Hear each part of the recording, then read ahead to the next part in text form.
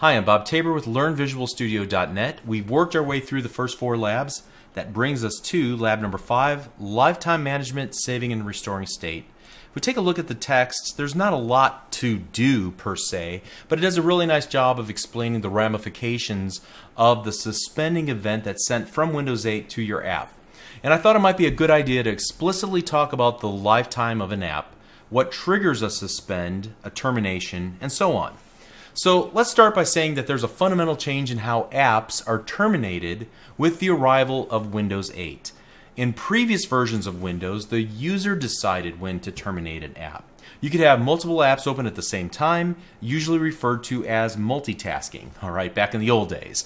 Uh, each uh, application that's currently running will be consuming memory and processor resources. And if you open up enough applications, your computer began to run low on system resources, i.e., memory. Uh, and so the system would then try to help you out by caching some stuff from memory onto disk that it doesn't seem like it needs right now. But ultimately, your entire computer would bog down. Now, in Windows Store apps, Windows 8, not the user, is in control of when to terminate an app. So each app in Windows 8 uh, and the Windows Store apps will run in full screen unless they're snapped. Let's not talk about that right now. But each app runs full screen, and you decide when you want to switch to another app. And when you begin the second app, that first app will go into a suspended state. And then this process will occur again as you open another Windows Store app and another Windows Store app and so on. And so this process recurs over and over as you open new Windows Store apps. And finally, after enough of apps have been started, the system is under what's called memory pressure. And so when Windows needs more memory, then it decides to begin to terminate apps that were in a suspended state. So it begins to say, I don't need you and don't need you. And it begins to make more room by getting rid of suspended apps. So what if the user then relaunches an app that was in suspended 8 before it was terminated but uh, before it was terminated but it was, it was in suspended state. Well then windows 8 will unsuspend it. Its memory footprint is still intact. The app's threads of execution can begin using the cpu again. Uh, it can use the file system again and the network again and so on.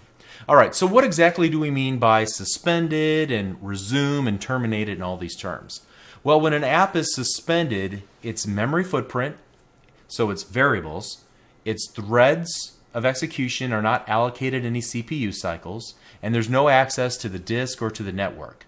So when an app resumes, it's coming out of suspended state prior to being terminated. Terminated means that the app has been completely re removed from the computer's memory and now has to be relaunched. So the app is not given a notification that it's being terminated.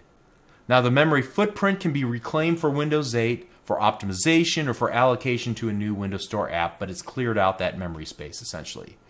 So the Grid App template takes care of the initial setup that gives you the basic process lifecycle management features, and you can extend that, and we'll see a few points of extension a little bit later. But if you take a look at our app.xaml, there are two events that are defined in the grid app template. First of all, there is the on launched event in line 45, and then there's also this on suspending event in line about 125. Let's take a look at the on launched event. So if you take a look here in line, I think uh, 59, you can see here that uh, we're trying to ascertain the previous execution state of the app prior to being terminated.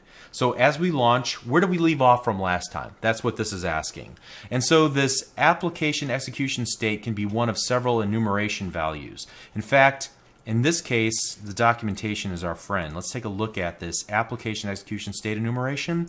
And it gives us all the various members and then their descriptions as well. And so you can just bing on Microsoft.com, so site colon Microsoft.com, and then use the term application execution state, all one word, no spaces, and then space enumeration. So for example, eh, if we were looking at this and we might want to understand the difference of not running versus terminated, we could see here the explanation that the app may have been downloaded from the App Store but not executed yet. Okay, makes sense. That's a helpful distinction for me if I ever need it for my particular app. Uh, notice in this case, back in line number 59, we're checking to see if the previous execution state was terminated. And if it was, then we're asking the suspension manager to restore the previous state in an async fashion. All right, so this suspension manager, if we were to go to definition, it's actually created here by the grid app template in our common folder, suspensionmanager.cs, all right? And uh, it takes care of remembering which page our app uh, of our app the user was working on prior to being suspended. And it saves that information in an XML file called sessionstate.xml. And so we could pop that file open if we could find it on our hard drive and maybe we could get a little more insight as to what it's actually doing. Uh, I actually have, uh, I can show you this much.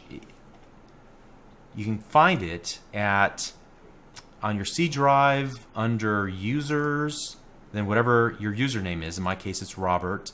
Under app data, which is a hidden folder that you'll need to show. Local, I think it's under um, packages, and then you're gonna have to figure out the GUID, and this part's not easy, right? Uh, because you can see there's quite a few apps that utilize this. But in our case, it's gonna be one of these most recent ones that we were just running here. Uh, probably this one right here and then local state, and then there should be a session state.xml. Let's see if there is one here in this other one. Local state, session, session state.xml, we can open it up with Notepad. All right, and if we wanted to break it apart and learn a little bit more about it, we could. Uh, I happen to have one from a previous run that I'm going to paste here into Notepad. So let's just uh, close this because I don't want to make any changes to it. I don't think uh, it would be a good idea to um, to uh, modify any of this. But here's one from a previous run. And so you can see that this is a serialized version of an app frame, okay?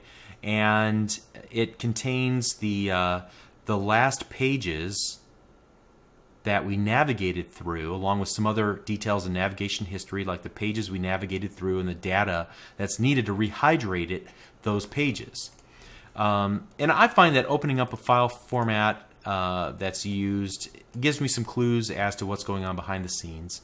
Uh, and so that's the only reason why I took that little departure there. So the cool thing is this in this uh, suspension manager that we can see here the save async method and the restore async method and uh, we could easily extend these methods to store our own and retrieve our own application data. And so as the lab points out, that's not really necessary for this app, our Contoso Cookbook, because there's no real state that's worth saving, you know, besides the last page that the user was working on prior to the suspension event. Okay, so here's what I'm going to do just to show how this is how this works. Let's go ahead and create a new project. It's going to be a grid app. We're going to call it app 1. Just take all the defaults. And I'm going to go to the uh, item detail page. And I'm going to rip it to shreds.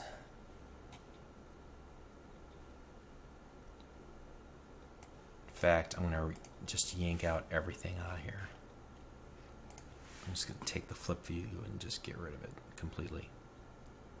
And everything that belongs to it. Gone.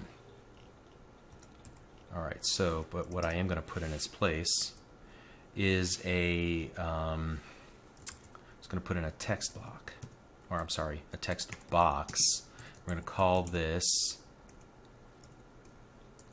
a stateful text box. And I think we're going to have to make some changes here. I'm going to put it into uh, grid.row equals um, 1. Then I'm going to make its height something reasonable, like, uh, I don't know, 45. Then I'm, you can't see it in the little uh, in the little designer area. So that's because it is in the center.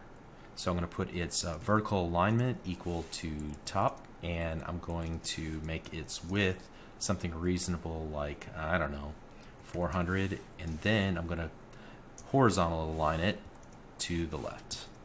All right, that feels good. All right, so there we go. That's good.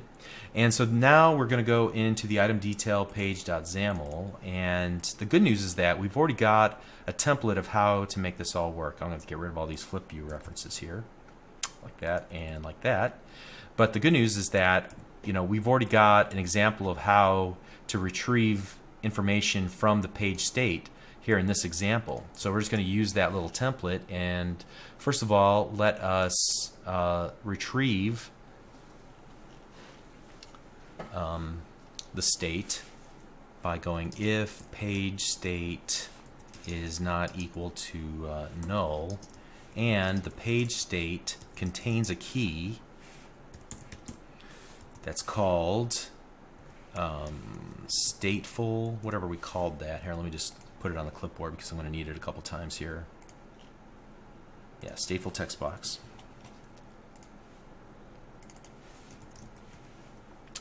So if that is true, then what we're going to do is retrieve out, or actually set stateful text box's text attribute equal to the page state um, getting into the stateful text box key, and then we'll toString it because it's an object when it comes out of there.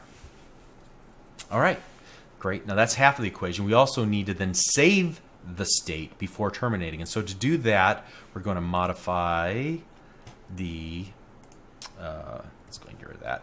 We're going to modify the, um, uh, the save state method. And so it's going to look something like this. So page state, stateful text box, equals stateful text box dot text. All right. Great. So now let's go ahead and save those changes and then we're going to uh, run the app. And we're going to navigate into a page and now I'm just going to type something, literally.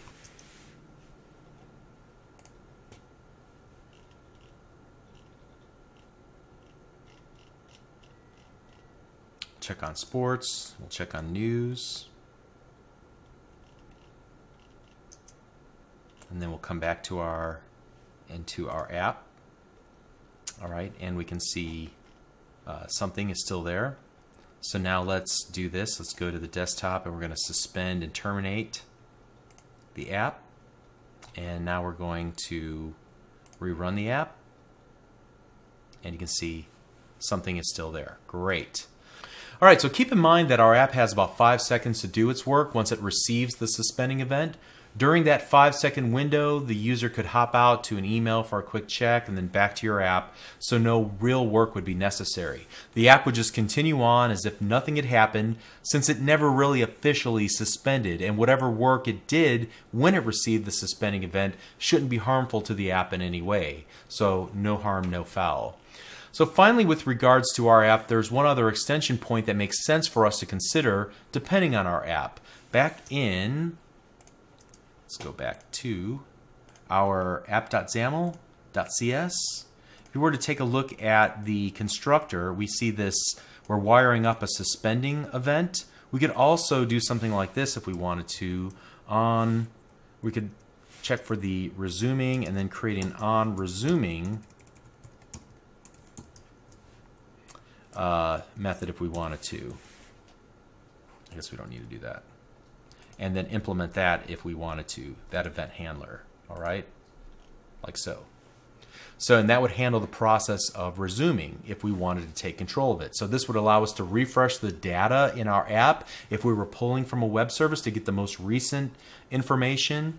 And so the canonical example is that of a weather report uh, or a news headline or a stock ticker or sports scores, the latest messages uh, um, uh, from uh, from a user, maybe in a in a chat room, or uh, updates from other players in the game that you're building, and so forth. All right, so finally, one last topic I want to discuss that's tangentially related here. You might wonder about code running in the background. So can I have an app that's running in the background even though it's not a full screen app currently running in Windows 8? Well, yes, there's actually a way to run code in the background by creating a background task, which is a separate DLL that's managed outside of the app. Now, mind you, it must be referenced by an app However, after it's been launched, it can run whether or not the main app is running. You would create a Windows app class library that contains a class that implements IBackgroundTask, which again is just a contract to implement a run method. And so then you have to create a reference to the class library DLL from the main app and then add a declaration in the package.appx manifests designer that you want to use this as a background task or you want to have access to a background task. Uh, now that the class library DLL task is waiting to be triggered, uh, it can be triggered by one or more task types like uh, audio or a control channel or a system event or a timer or a push notification. Any of those could then spring your background task into action. And you know what? At this point, I'm really getting a uh, you know a little bit over my own head here. What I'd recommend is this: take a look at this web page, and it'll explain everything you need to know about running background tasks from your app. So just do a search on uh, site colon microsoft.com supporting your app with background tasks, and it should bring you to this page. All right, so in this lesson, we learned more about how Windows 8 manages the lifetime of our app's processes. We learned about the Grid App Suspension Manager and how it takes care of the details of serializing our app's navigation state. And we saw how to extend that uh, to form data, like our little text box, or other variables that would be required for our app to run. We saw how to further extend the app by adding an event handler for the resume event and how to run background tasks in an in-proc server DLL that responds to external trigger events. All right, so that finishes up lab number five. I trust that you'll read the additional text in that lab and to get additional insights. And we'll pick it back up in lab number six. We'll see you there. Thank you.